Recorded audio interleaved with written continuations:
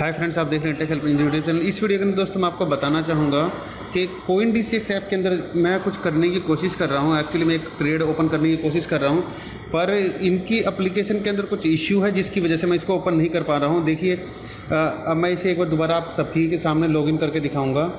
तो पता नहीं क्या ड्रामा है इस एप्लीकेशन का। इसका मूड है, चल जाती है, कभी नहीं चलता है। ये देखिए, क्या लफड़ा है ये। और अपने आप ही लॉग आउट हो जा रहा है, कभी लॉगिन नहीं होता है। कुछ ना कुछ इसके अंदर चक्कर है ही।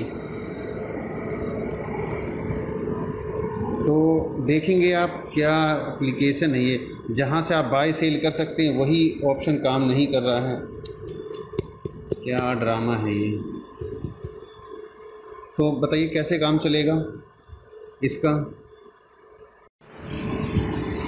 तो देखिए मैंने और इसे साइन इन किया, वो ओ आएगा मेरे मोबाइल पर, देखते हैं। तो कई बार आप जब कुछ ट्रेड करना चाहेंगे तो उस वक्त ये आपका साथ नहीं देगा। तो चलिए तो देखिए ये क्या हुआ? अब ये देखिए। ये आप देख सकते होंगे कुछ भी काम नहीं कर रहा है बार बार मुझे वापस उसी स्क्रीन पर भेज दे रहा है। तो एप्लीकेशन के अंदर कुछ ज़्यादा ही इश्यूज़ है इसके कोई डी के अंदर।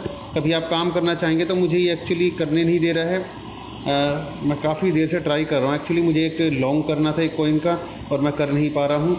और उसका प्राइस बढ़ता ही जा रहा अगर मैंने लॉन्ग कर दिया होता तो अभी तक मुझे काफ़ी अच्छा प्रॉफिट हो गया होता। पर इस एप्लीकेशन ने मुझे टाइम पर ही धोखा दे दिया है। मैं इसको ट्राई कर करके थक गया हूँ पर ये काम नहीं कर रही है। और ये मुझे बार बार रिडायरेक्ट करके बाहरी मतलब मेन पेज पे ही भेज देता है। मैं लॉगिन नहीं कर पा रहा हूँ।